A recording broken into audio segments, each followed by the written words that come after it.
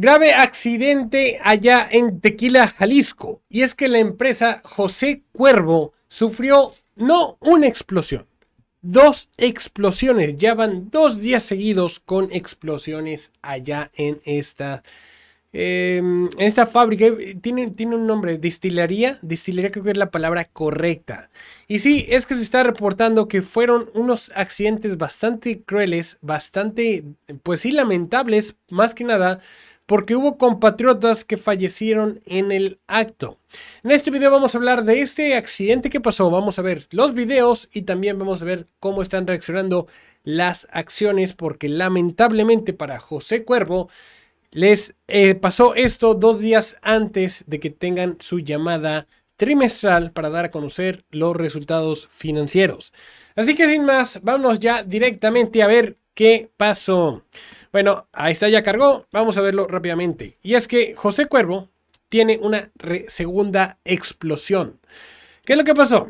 Medios locales reportaron una segunda explosión en una planta de José Cuervo en Tequila, Jalisco, donde cinco trabajadores de mantenimiento fallecieron el martes tras una explosión inicial.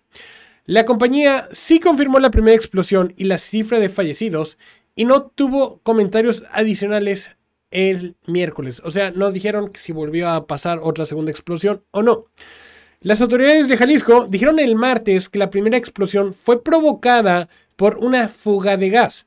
Un tanque en la planta explotó y, esparció un fuego a cuatro contenedores con capacidad de 219 mil litros cada uno.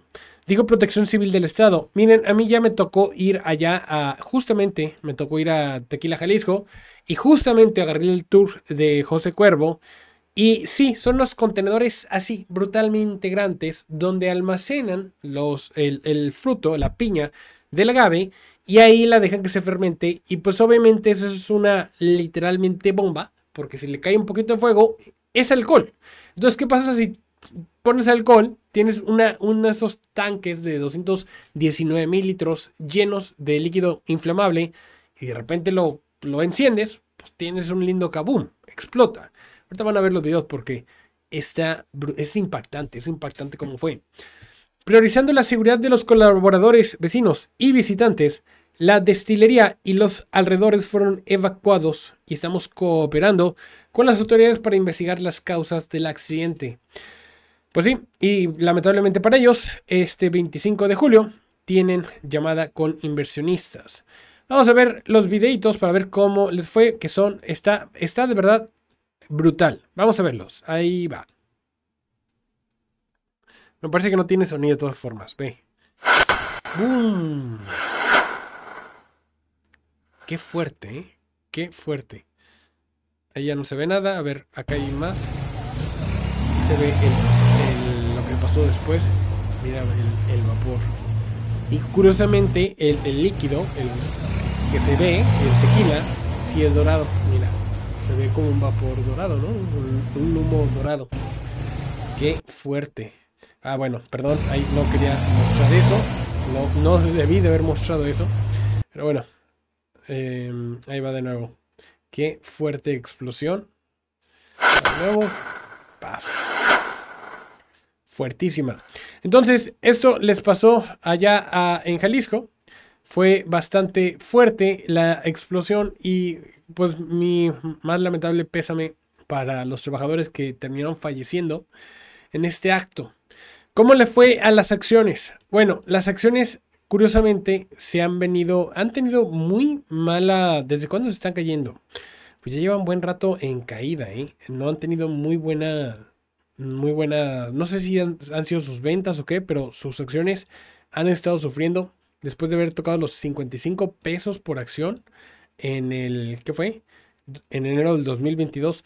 Yo creo que para la pandemia todo el mundo también estaba ahí echando, a ver, ¿no? Sí, de hecho fue durante la pandemia que se dispararon los precios de las acciones. Y tiene sentido, ¿no? O sea, estabas en la pandemia, aburrido en casa, pues te echas un requilita. Entonces a ellos sí se les disparó durante la pandemia.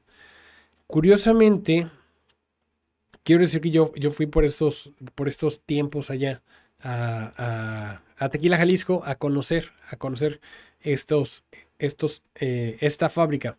Y sí, después de su máximo de 55 pesos, ya no se ha vuelto a recuperar y ha estado en una senda bajista. Lleva varios, varios, pues días, meses en esta senda bajista. Y cada vez que se intenta recuperar, vuelve a tronar. Y esto sí le está pegando fuerte a los de José Cuervo. Miren nada más cómo se cayó. Bueno, el día de ayer, cuando se da a conocer, estaba la especulación por el precio, por bien por los resultados que van a dar el día de hoy. Estaba subiendo el precio de las acciones, iba bien, ya estaba en 32. Se da este accidente y es golpeado. Luego se da una segunda explosión, es vuelto, es, es golpeado nuevamente y cae hasta los 29 pesos. Ahorita se está intentando recuperar. Se está intentando recuperar. Pero es simplemente por el tema de la, de la llamada que van a tener. Porque no, no van a... No, vamos a ver a más gráfica. Vamos a verlo a, mayor tiempo para ver realmente hasta dónde podría estar cayendo eh, el precio de la acción. Estoy viendo hasta el 2017. Ok. 2018 estaba en 20 pesos su acción. Ese fue su fondo. Actualmente está muy cercano al fondo.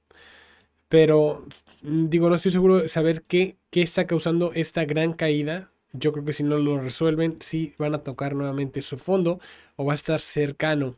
Eso es más, te lo seguro que lo podríamos ver en un mes, que va a intentar hacer un doble fondo. A ver, vamos a ver si se ve. Sí, mira, mira, ve. Se va a alcanzar, se va a intentar hacer un doble fondo para saber hasta dónde llega. Su fondo está en los 20 pesos. Va a intentar tocar tal vez ándale, como los 25, 23 pesos.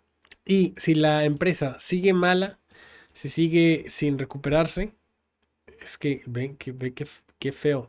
No, no, no, no, no, esto, es, esto se pone peor porque aquí las emas ya se cruzaron, tiene, tiene un cruce de la muerte. Uy, qué bárbaro, qué bárbaro. Mira, esto, esto que estoy enseñando aquí en la pantalla, eso se le denomina un cruce de la muerte y te indica que tiene una tendencia bajista fuerte. Entonces posiblemente sí va a tocar los mínimos de 20 pesos. Eh, después de este accidente, no sé qué tan rápido pueden recuperarse, porque además perdieron producción, perdieron producto y además del daño mediático que van a tener, pues van a tener que volver a producir, se les van a caer las ventas, sí o sí. Digo, no es el fin del mundo para ellos, pero sí les va a afectar fuertemente. Entonces, si lo vamos a ver posiblemente los 20 pesos. Si tienes acciones o quieres comprar, pues espérate al mínimo los 20 pesos, porque para allá va y ya de ahí va a... Vamos a ver qué sucede, pero lo que estamos viendo acá abajo es que sigue la tendencia, sigue la tendencia, no ha parado de caer y hasta que no se forme aquí un fondo, esto va a seguir cayendo. Pero bueno, qué lamentable accidente. En fin, si les gustó el video, por favor, dejen su like, dejen su comentario y dejen también una suscripción. Nos vemos en un siguiente video. Cuídense mucho. Bye.